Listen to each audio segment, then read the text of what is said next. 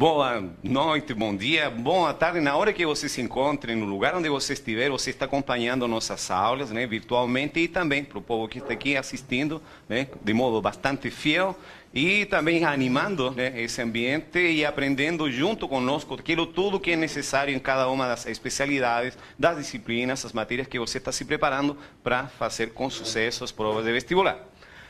Eu vou fazer uma recapitulação daquilo que nós viemos conversando, principalmente na última semana. Na última semana eu falei sobre regras de acentuação, é só para lembrar, porque agora, como todo mundo já está com sua apostila, a gente já vai poder ir consultando a apostila e também acompanhando as explicações na lousa, no quadro, e vai ficar, o trabalho vai agilizar bastante. Então, só para lembrar aquilo que nós conversamos até agora, né? Falamos que em espanhol, quando se fala acento, primeiro a gente tem que lembrar que acento tem a ver com isso, com pronunciação. Né? E em função da pronunciação, a gente diz que toda palavra tem uma intensidade de voz, em alguma sílaba, uma intensidade de voz predominante, uma sílaba tônica. Quando a gente classifica as palavras segundo sua tonicidade, a gente diz que quando a maior intensidade de voz está na última sílaba, a gente chama a palavra de tipo aguda. Né? Quando a maior intensidade está na penúltima sílaba, a gente classifica a palavra como de tipo grave ou llana. Quando a maior intensidade de voz está na antepenúltima sílaba, a gente chama essa palavra de esdrújula. E se a intensidade de voz estiver antes da antepenúltima sílaba, a gente chama de palavra sobre esdrújula. Né?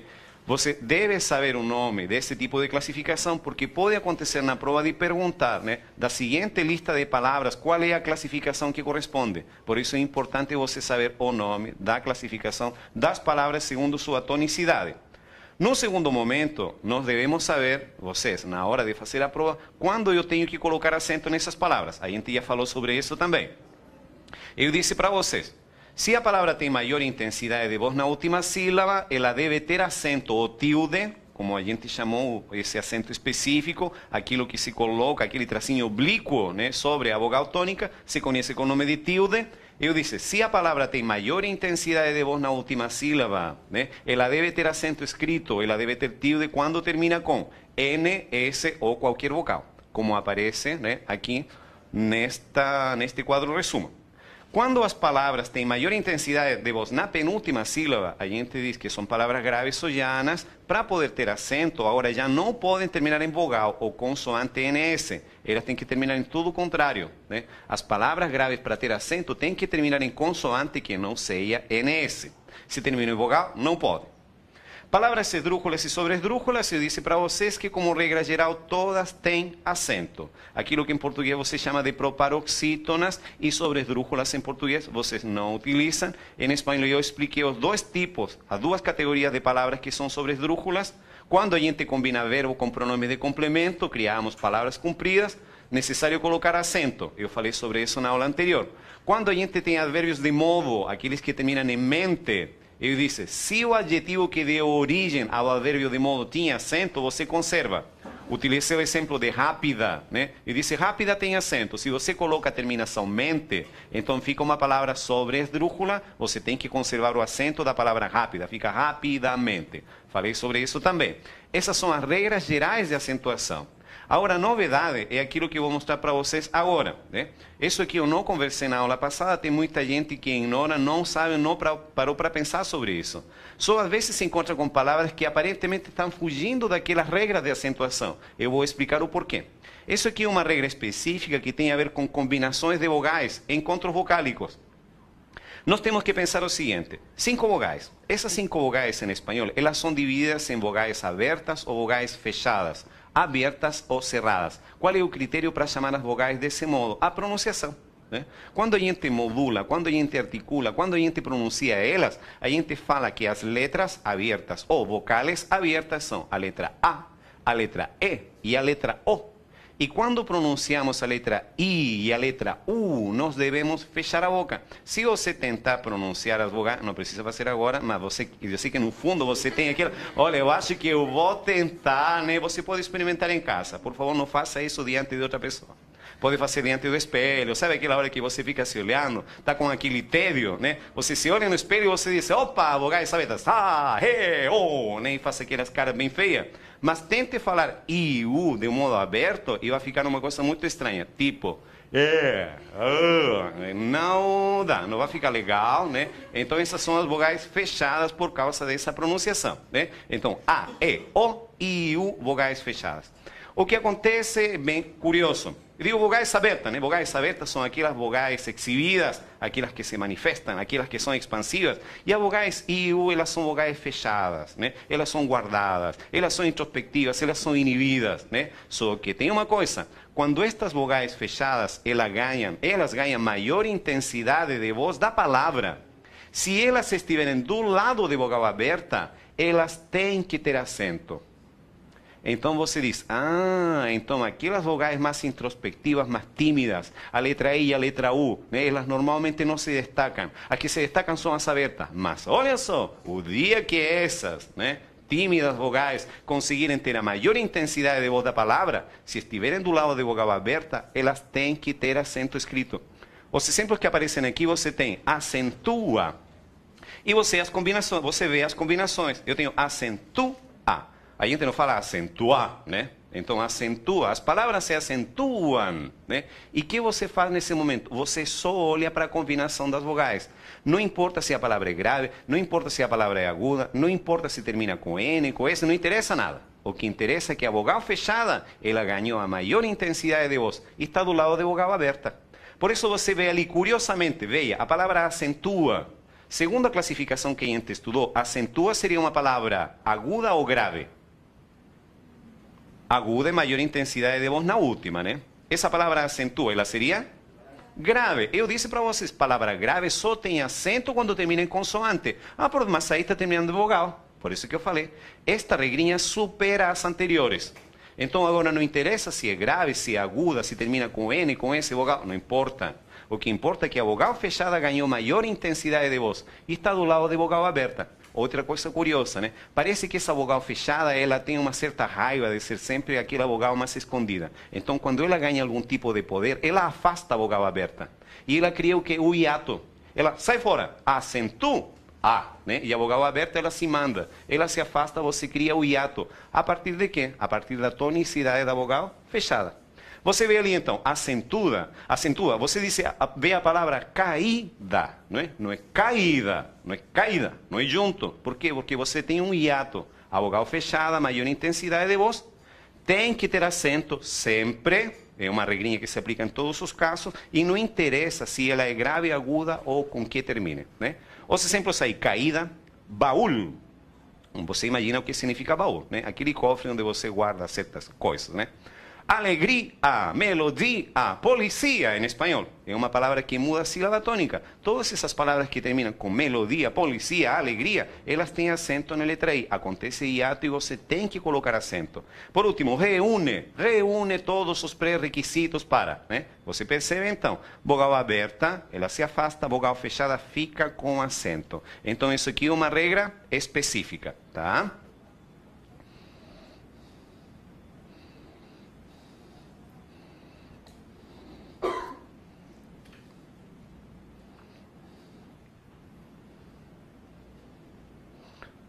Vamos ver se estou aqui. Por enquanto, essa tela aqui vai ser útil, né? Porque através dessa tela nós percebemos mais orientações em relação àquilo que é muito importante e a gente está caminhando para isso, aquilo que é a interpretação de texto. Olha só como é importante conhecer as regrinhas que acompanham a explicação destas palavras.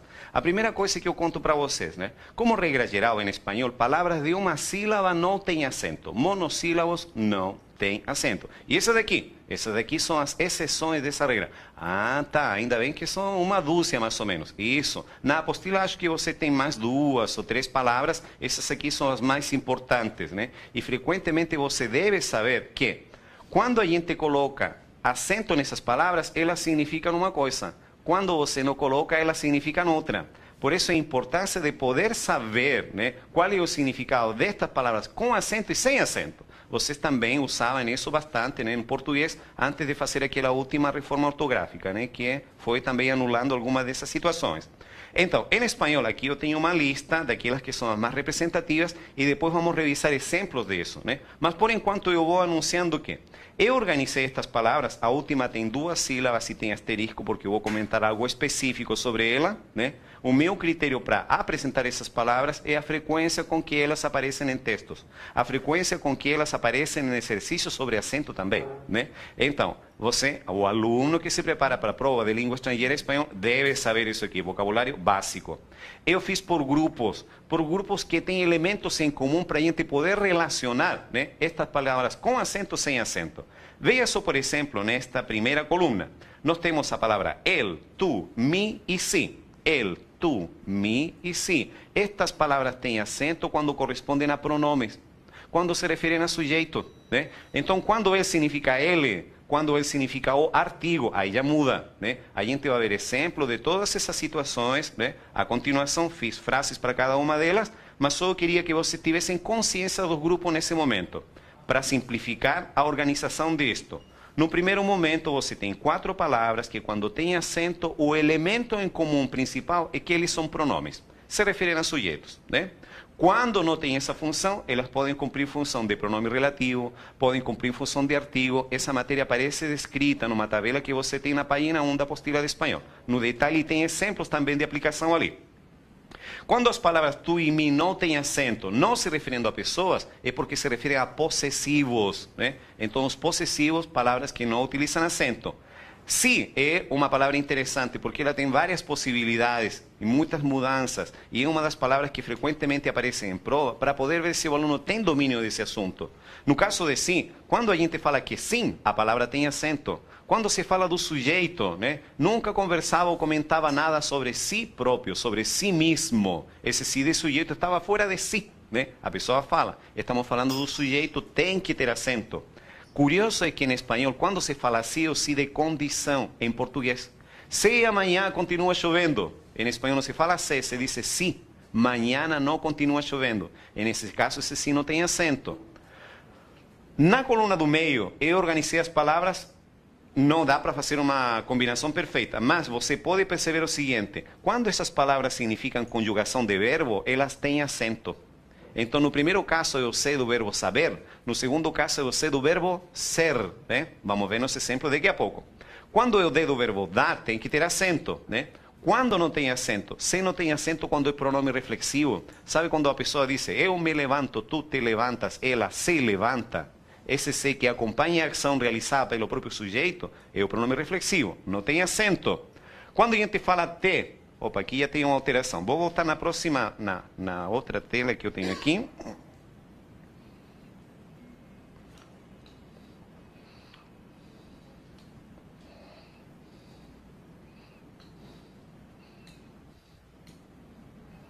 É esse aqui mesmo.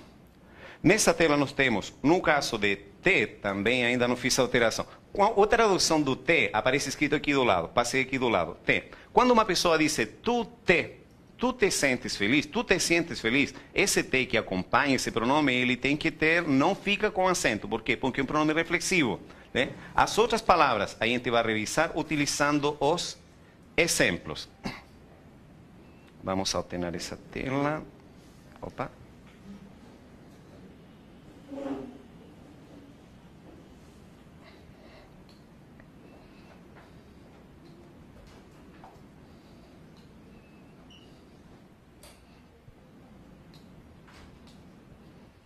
Os exemplos em relação a essa matéria. Nós temos o primeiro caso, ele com acento. Diz aí na frase, já era muito tarde quando ele chegou. Então já era muito tarde quando ele chegou. Acho que fica bem mais fácil de perceber né, como se utilizam estas palavras com e sem acento, utilizando as frases. Já era muito tarde quando ele chegou. Ali no fim da frase você tem a tradução em português. No segundo caso, falta pouco para que o almuerzo esteja listo. Alguma dificuldade para entender a tradução da frase? Falta muito pouco para que o almoço, e aparece o artigo ali no fim, em português, o almoço esteja listo. O que significa a palavra listo? Esteja pronto, né? Então, listo, preparado para. Foi outro jovem el que nos atendeu. Então, você, por exemplo, fez uma compra né, numa loja e você quer trocar a mercadoria. Né? O gerente diz, foi este jovem aqui que atendeu você? Você diz, não, Foi outro jovem, ele que nos atendeu, aquele que nos atendeu. Se fosse uma moça, seria foi outra lá que nos atendeu. Quando a gente utiliza essa expressão, estamos falando de pronome relativo. Quando a gente utilizou anterior, estamos falando de artigo né, determinado, definido em português. E o primeiro é um pronome. Quando temos exemplo de uso de tu, né? Tu, pronome pessoal, puedes chamar-me quando tu quieras, né? Não há nenhum problema para interpretar isso aí, né? Você pode me chamar, pode me ligar, né? Quando tu quiser. Tu, onde estão tu padre e tu hermana? Isso aqui é uma informação curiosa, né? Em espanhol, quando se coloca o possessivo antes do tema, antes do substantivo, a gente não faz diferença de masculino e feminino. Eu não digo tu e o padre, eu não digo tu e a hermana, eu utilizo o possessivo sem diferença de masculino e feminino.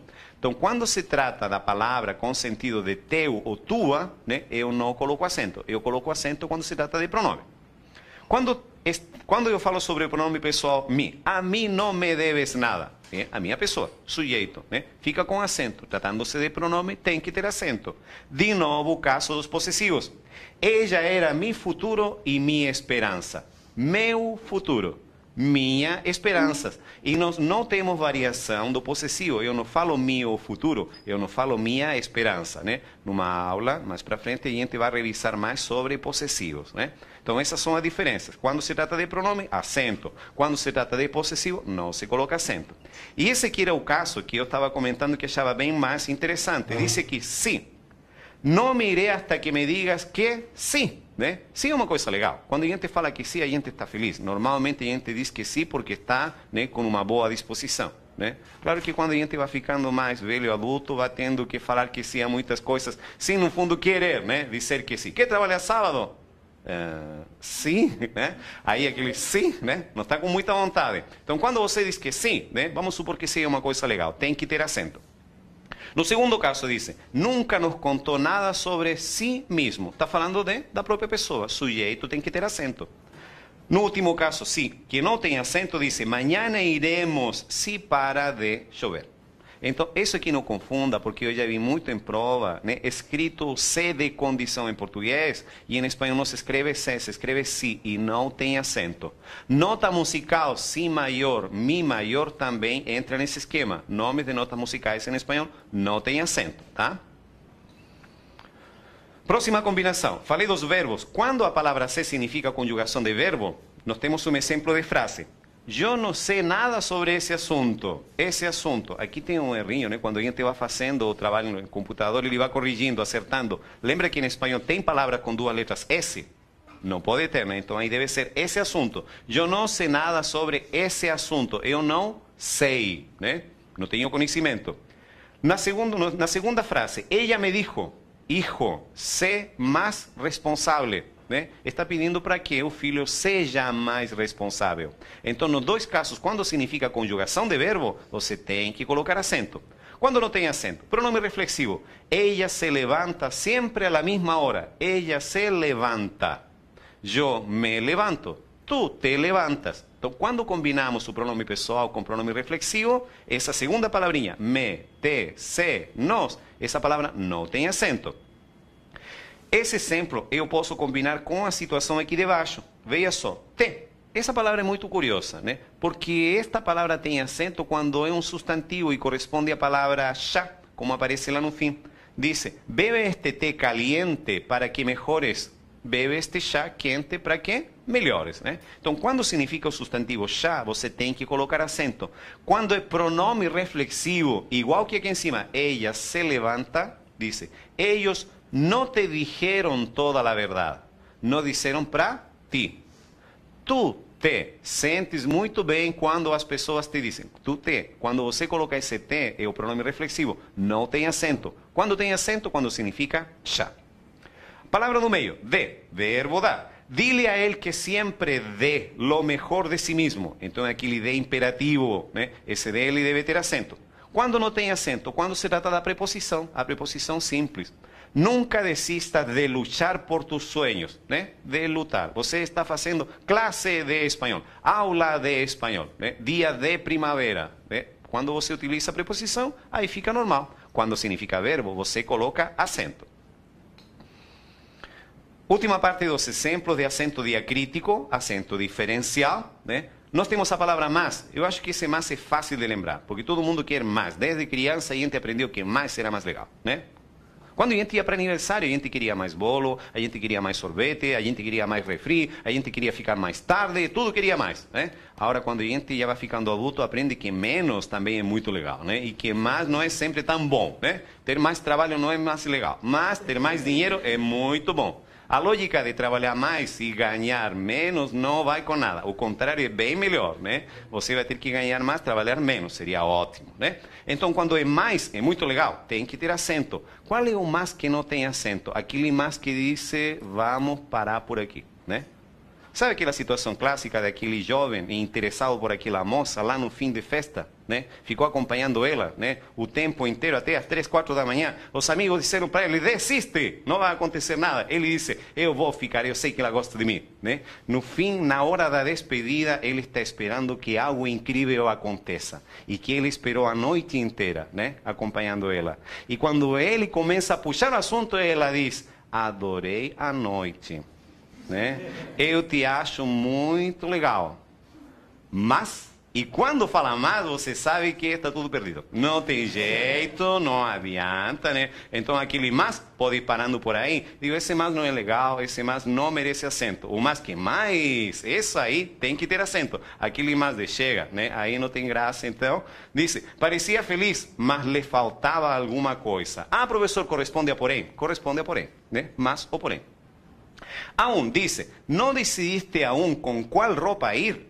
Então, aún significa ainda, né? Não decidisse ainda. Quem nunca passou por isso? Quem nunca escutou isso? Quem nunca falou isso para outra pessoa? Não decidisse ainda, né? Com que roupa, né? Para tu sair. Super normal. Depois dice aqui, teve tanto sucesso, êxito, que aún os mais críticos lo aclamaram, né? Até mesmo inclusive?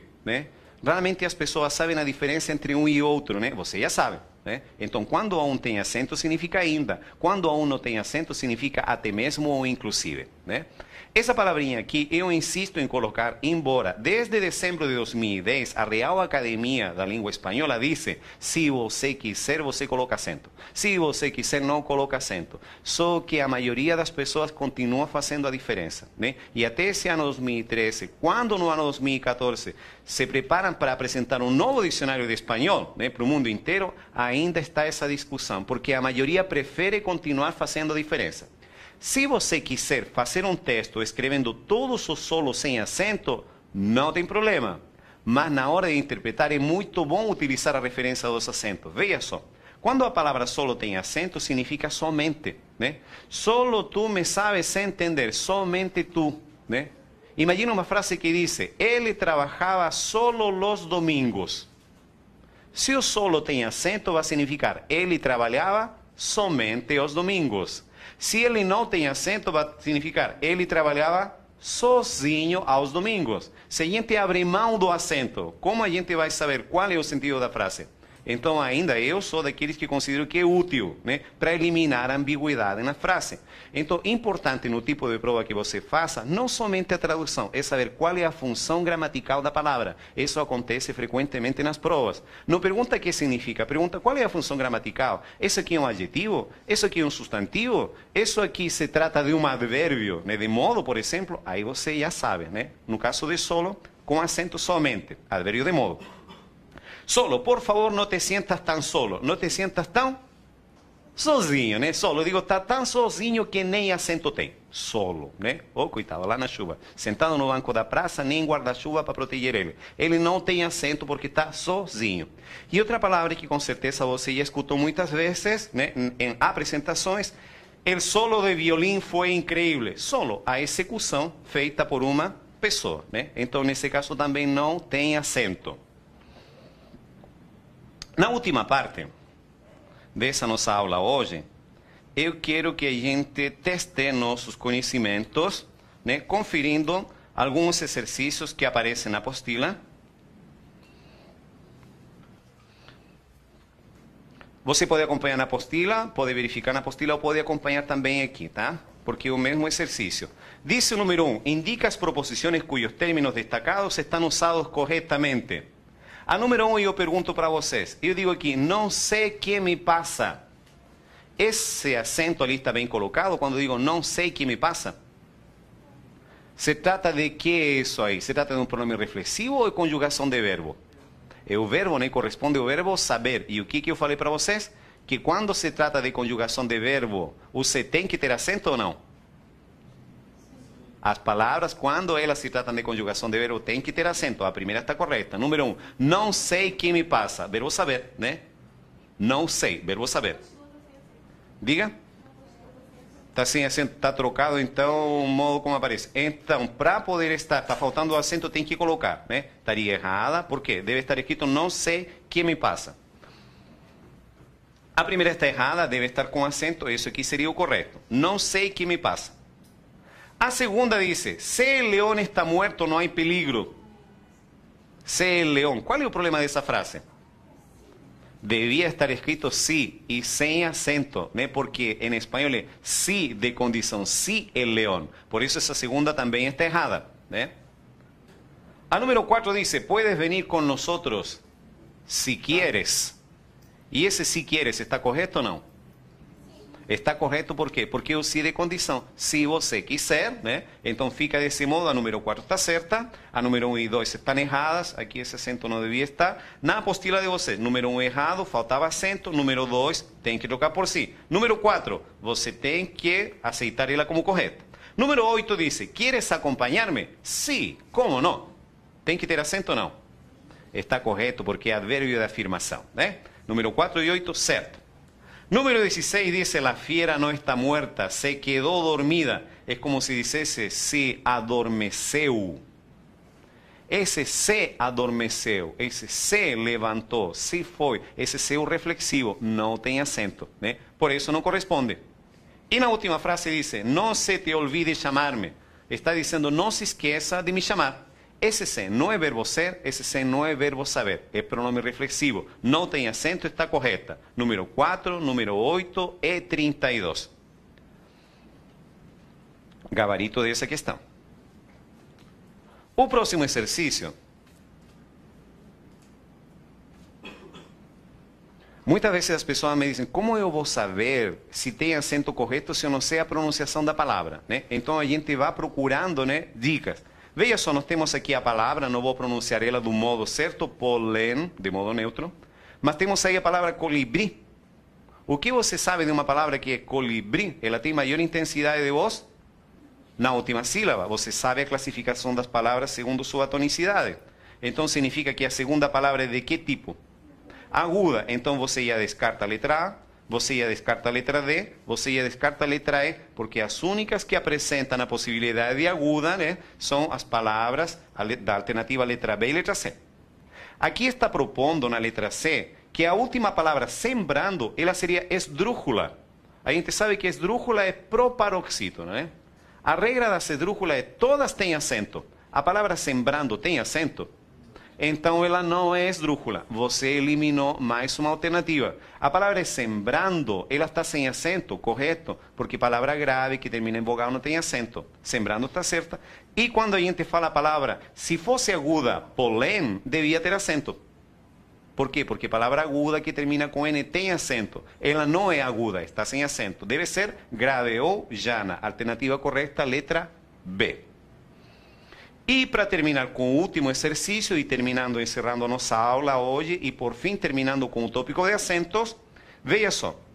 Aqui está perguntando qual das alternativas ela está incorreta. Lembre, por favor, daquilo que eu insisti bastante. Palavras graves em espanhol, palavras graves em espanhol, podem terminar em vogal para ter acento? As palavras graves que terminam em vogal, em espanhol, têm acento? Não, tem que terminar em consoante que não seja NS. Então está na cara que qual dessas alternativas é alternativa errada ali?